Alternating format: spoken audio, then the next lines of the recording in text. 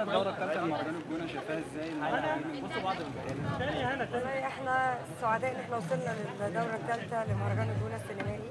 باستمرارية شيء مش سهل. إزاي بصوا بعض إزاي بصوا بعض إزاي بصوا بعض